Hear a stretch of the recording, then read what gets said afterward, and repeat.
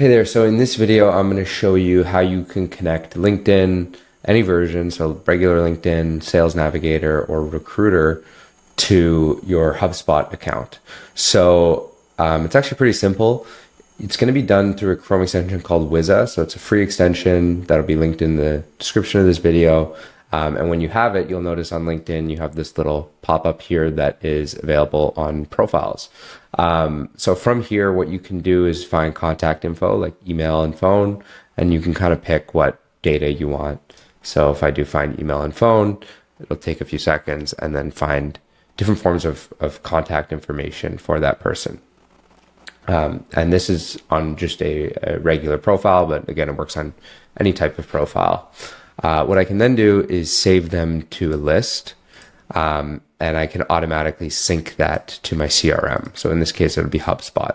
So if I go ahead and let me just create a new list called HubSpot, I'll just put it in this folder, create the list.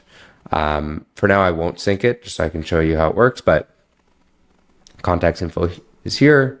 I save it, and then all these contact details and everything on LinkedIn is now available in my Wiza account. Um, and I have a sync button here.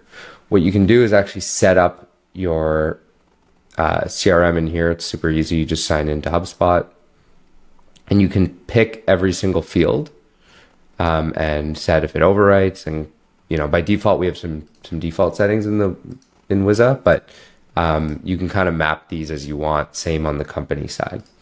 Um, so this is the contact. If I download this here, you'll see that there is a ton of data that's been automatically pulled out of LinkedIn in addition to the contact info.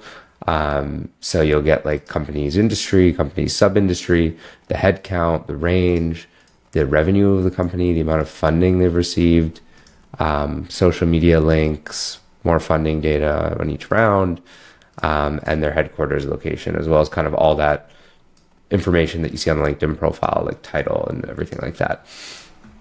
So you can do these for a bunch um, and kind of sync these over to your Wiza account and then all in one shot sync them over. Um, or you can do it kind of individually from here. All I'll do is hit sync.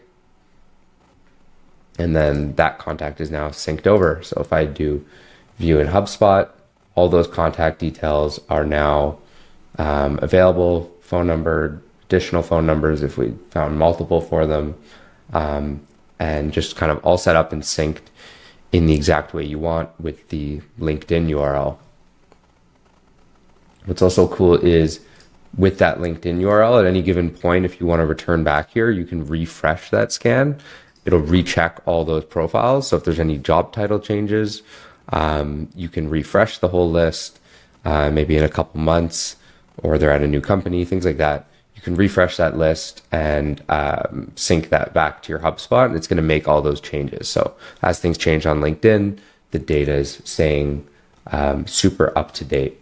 So that's how you do it individually.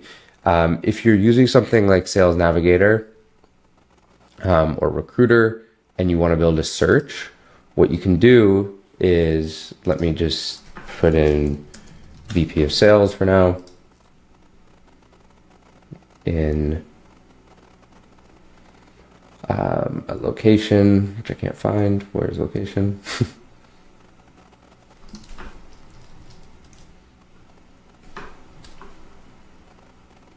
okay. Toronto. Okay, so you'll see there's 2,500 results.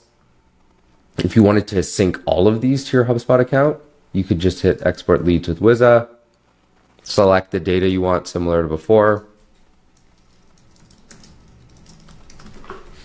2500, the type of emails you want, so let's say only work emails, and then you could start that and it'll export all 2500 and then when it's done, same thing, you can just sync that straight to your CRM.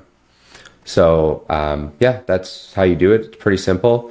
Uh, when you do want to sync your CRMs, again in Wiza, you'll just go to integrate um, and then find HubSpot and connect that.